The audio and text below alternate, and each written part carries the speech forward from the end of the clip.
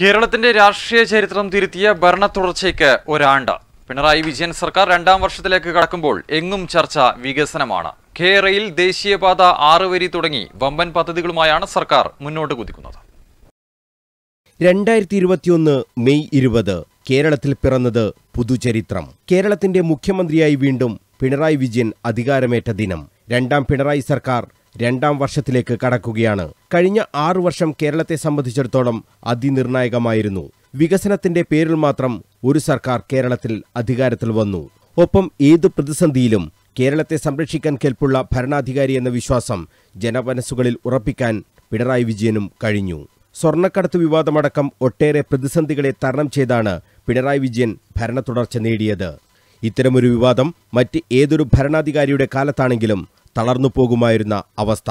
അവിടെ നിന്നാണ് ഫിനിക്സ് പക്ഷിയെപ്പോലെ പിണറായി വിജയൻ ഉയർത്തെഴുന്നേറ്റത്. മുഖ്യമന്ത്രിയുടെ ഓഫീസിനെ വരെ സംശയത്തിന്റെ മുൾമുനിൽ നിർത്തിയിട്ടും അതൊന്നും ജനം വിശ്വസിച്ചില്ല. ഇതിന്റെ ഏറ്റവും വലിയ തെളിവാണ് ആഞ്ഞടിച്ച ഇടതു തരംഗം. തൊണ്ണൂറ്റിയൊന്നിൽ നിന്ന് തൊണ്ണൂറ്റി ഒൻപത് സീറ്റോടെ രണ്ടാം പിണറായി സർക്കാർ അധികാരത്തിൽ വന്നപ്പോഴും വികസനം തന്നെ ചർച്ച.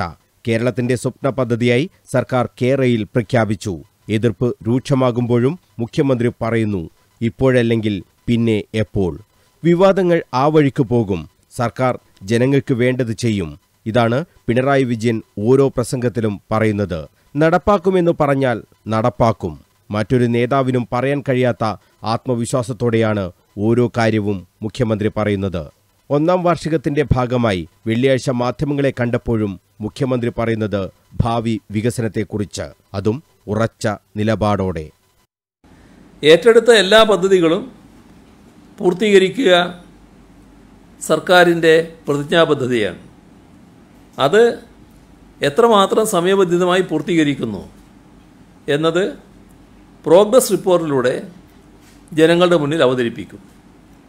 പ്രകടന പത്രികയിൽ പറഞ്ഞ എല്ലാ കാര്യങ്ങളും നടപ്പാക്കും.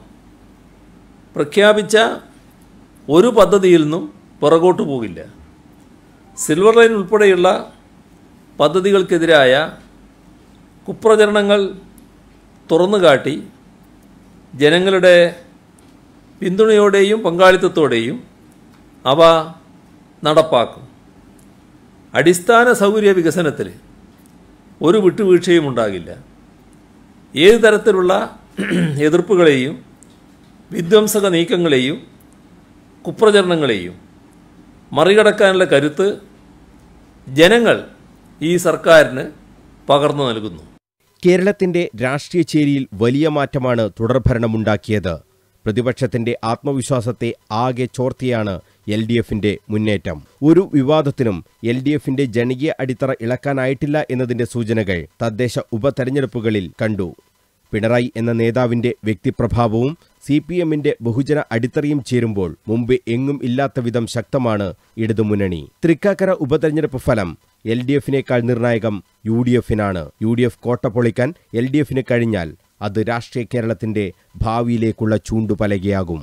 മനോജ് മയ്യിൽ കണ്ണൂർ വിഷൻ.